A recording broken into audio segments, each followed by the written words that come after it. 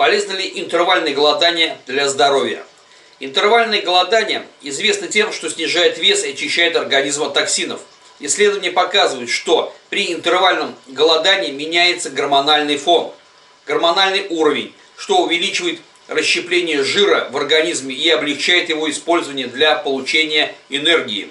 При голодании организм запускает путь метаболизма, который называется аутофагия. Это процесс детоксикации, восстановления и регенерации. Аутофагия уменьшает воспалительные процессы и полезна для предотвращения старения и развития многих заболеваний, например, сердечно-сосудистых. Периодическое голодание поможет вам достичь целей в пошаговом режиме, а также больше узнать о своем организме.